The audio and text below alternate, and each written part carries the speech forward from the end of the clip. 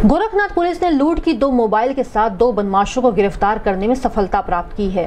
गिरफ़्तार किए गए अभियुक्तों की पहचान गोरखनाथ थाना क्षेत्र के नौरंगाबाद निवासी निजामुद्दीन उर्फ़ गोलू तथा जमुनिया बाग निवासी नसीम खान उर्फ़ गोलू के रूप में हुई है।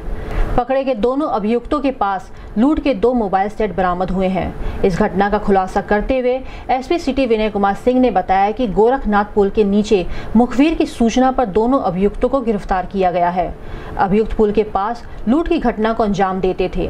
गोरखपुर न्यूज़ से बात करते हुए एसपी सिटी विनय कुमार सिंह ने बताया।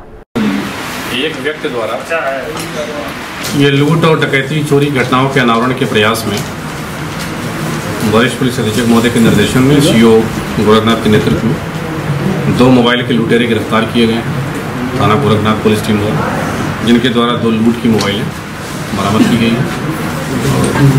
सीसीटीवी फुटेज से प्रथम दृष्टि का इशारा बातचीत किया गया।